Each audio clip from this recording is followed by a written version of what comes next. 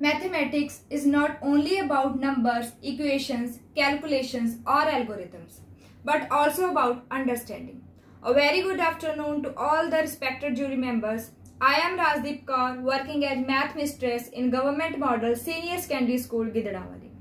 I am going to share my teaching aid Mathemagic. This teaching aid is basically a square board on which a number of activities from class 6 to 10th can be displayed very easily with the help of these colored blocks.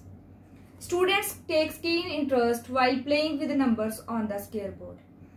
This teaching aid is very low cost, multi-purpose, eco-friendly, easy to make, easy to use, easy to understand, creative and avoids unnecessary paper cutting.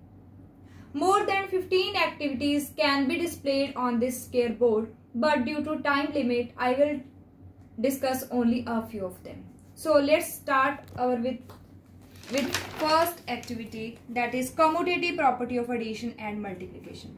Let us do for commutative property of addition for whole numbers. Let us take two numbers 3 and 2.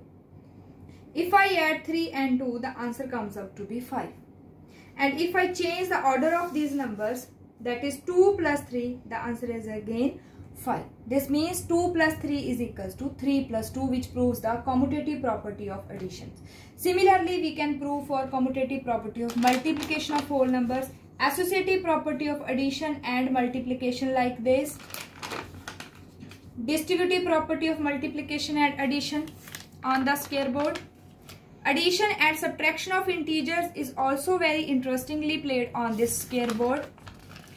Multiplication and division of integers.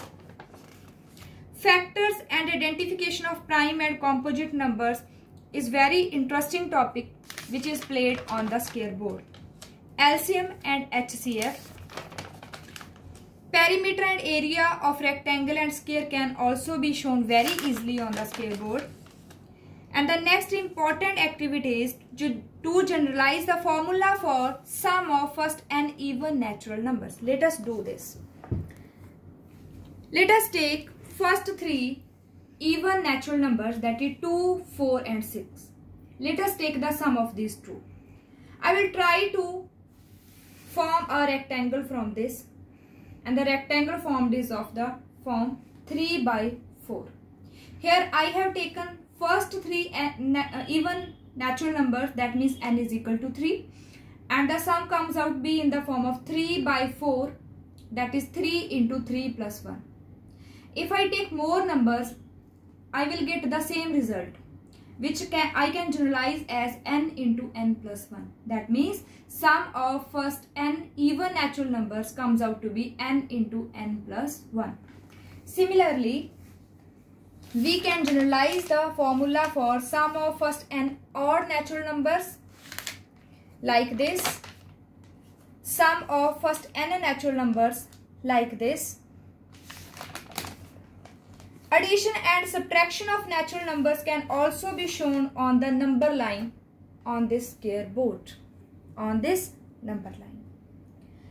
Next is to solve simple linear equations on the square board to un make understand the students for the concept of solving linear equations easily. Let us take a simple linear equation x plus 3 is equals to 2. I want to solve this. For this, firstly, I will add minus 3 on both sides on the left side as well as on the right side. On the left side, these plus and minus 1 make 0. Only x is left. On the right side, minus 1 and plus 1 makes it 0.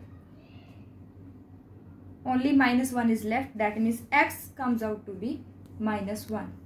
Similarly, we can solve more simple linear equations. My next topic is to plot points on the Cartesian plane on or to plot linear or non-linear graph. Let us do this. Let us plot point 3 and 4 on this Cartesian plane. This is x-axis and this is y-axis. This is origin 0. From here I have plotted a point 3, 4. X is 3 and Y is 4.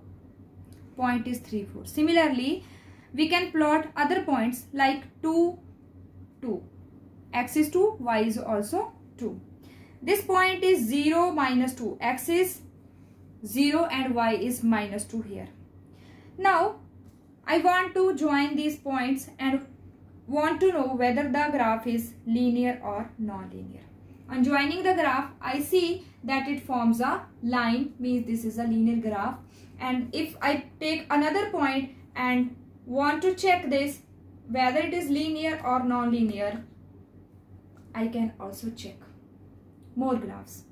Similarly, on this graph, I can also draw bar graph, histogram, frequency polygon, and many more activities are possible on the square board. Thank you very much.